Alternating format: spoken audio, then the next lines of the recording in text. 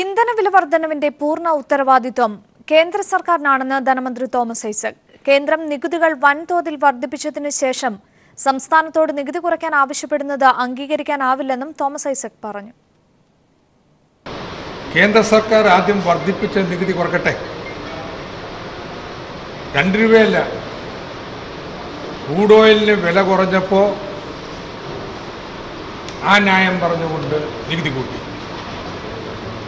ഇനിയിപ്പോൾ ക്രൂഡ് ഓയിലിന്റെ വില വർദ്ധിച്ചപ്പോൾ ആ ന്യായം പറഞ്ഞുകൊണ്ട് വില വർദ്ധിപ്പിക്കുന്നു. ഈ നയമാണ് തിരുത്തേണ്ടത്.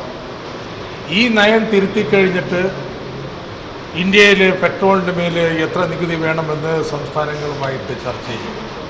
സംസ്ഥാന സർക്കാർ ഒരു നികുതിയും വർദ്ധിപ്പിച്ചിട്ടില്ല. വർദ്ധിപ്പിച്ചത് കേന്ദ്ര സർക്കാരാണ്. കേന്ദ്ര സർക്കാർ വർദ്ധിപ്പിച്ച നികുതി കുറച്ചു കഴിഞ്ഞാൽ സംസ്ഥാനത്തിന്റെ നികുതി വരുമാനം ഓട്ടോമാറ്റിക്കായിട്ട് കുറയും. അപ്പുറത്തേക്ക് വല്ലതും വേണമെന്ന് നമുക്ക് ഒക്കെ ചർച്ച ചെയ്യാം. ഇപ്പോഴും.